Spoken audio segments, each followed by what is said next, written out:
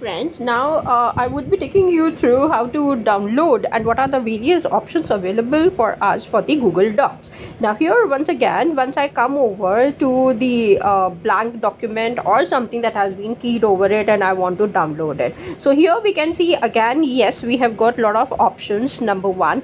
And uh, here as you can see yourself that the options that are available to me makes me um, my work easier to not only for myself even for sharing with others as i keep reiterating it that yes these particular uh, forms or the spreadsheets docs which are present exclusively out here they can be shared with anybody uh, to whom i have given the access to especially if i'm working in a professional environment. So here you can see that yes first of all i've selected with the microsoft word uh, to be downloaded and it is taking care of it. The second option is for open document format. And again the moment I have clicked you can look at the bottom of the page that yes each one of them is uh, being downloaded. Now similarly next is rich text format. So now uh, regarding these different formats I'll be taking you through a small walk maybe later on for the which I can call it as a format um, walk for all of us. And then we can see what are the various uh,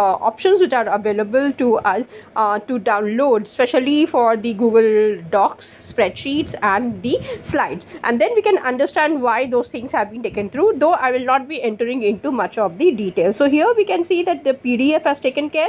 Then we have got the plain text which would be in the format